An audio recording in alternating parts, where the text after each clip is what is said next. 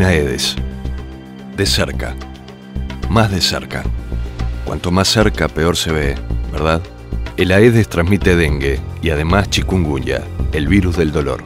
Un virus que deja secuelas de por vida y que en 11 meses llegó a la misma cantidad de países que el dengue en 10 años. Si no lo querés ver de cerca, mantenelo lejos. Ya sabés lo que hay que hacer para eliminar su reproducción. Dale la vuelta a cualquier recipiente que pueda almacenar agua, tapa tanques y rellena floreros y cubiertas con arena. Ahora las enfermedades son dos. Nuestra comunidad en alerta puede mantener lejos al mosquito que las transmite. Conoce más en www.msp.gov.uy barra comunidad en alerta.